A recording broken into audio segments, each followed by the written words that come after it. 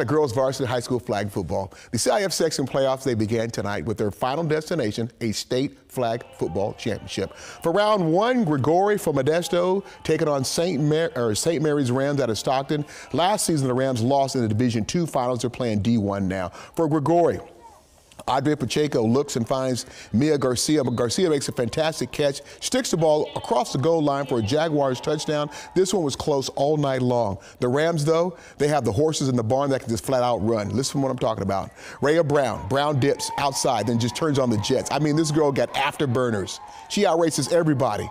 60 yard touchdown for St. Mary's, plus the Rams can throw the rock as well. Check this one out. Victoria Bragg that's a 65 yard bomb to Presley DeCruz. St. Mary's wins their first round playoff game, holding off Gregori 46 to 36. Came out early, we, we played well, I let other players get in. Um, we kind of had a lapse and let them back in the game, and then we had to get back together and win the game. It was a really exciting uh, first play of the first playoff game of the season, and I think that today was a really big game for us and uh, following momentum into the playoffs. And I think our team played well. Uh, we got shaky at the end, but I think we did pretty good. All right, the poll.